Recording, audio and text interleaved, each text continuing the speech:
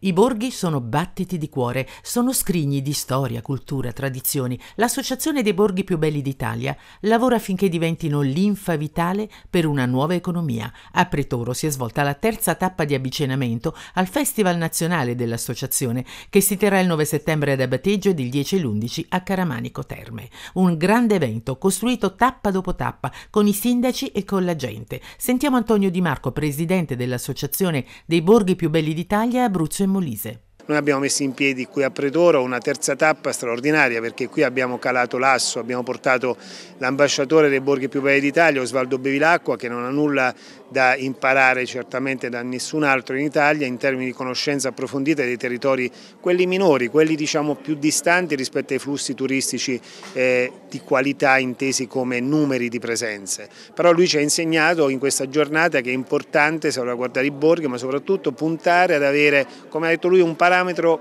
così detto di 5.000 utenze annue che possano certamente sostenere il singolo borgo piccolo come Pretoro e dice tanto questo perché è una misura che fa comprendere che è arrivabile, è possibile, bisogna mettere insieme le energie migliori del territorio e farsi conoscere, farsi conoscere significa stare dentro a quei sistemi di comunicazione e dare un'immagine positiva dei borghi, oggi una, abbiamo dato un'immagine positiva dei borghi dove tutti avrebbero voglia di viverci e di starci tutto l'anno, ecco questa è la nostra nostra sfida, poi l'esempio virtuoso di questo progetto nazionale del turismo in ritorno eh, dice tanto perché portare qui il livello nazionale che è strettamente connesso con le politiche del Ministero degli Affari Esteri significa essere riconosciuti come territorio regionale e avere l'Abruzzo come capofila in questo progetto ci incoraggia ancora a fare meglio.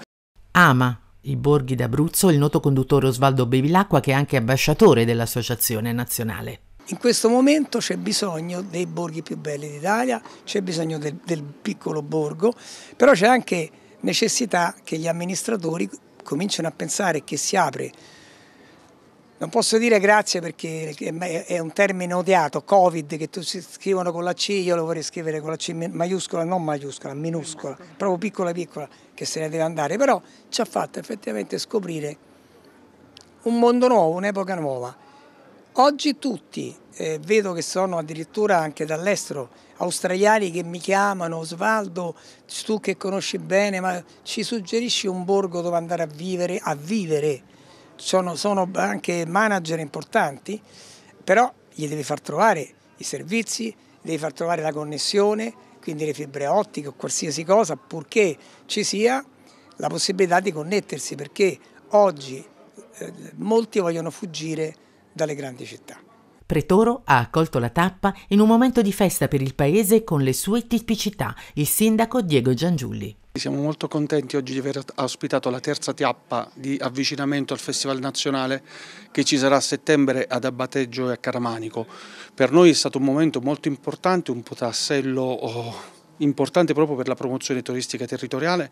Abbiamo condiviso esperienze con gli altri sindaci della, della famiglia dei borghi più belli d'Italia e siamo molto molto soddisfatti.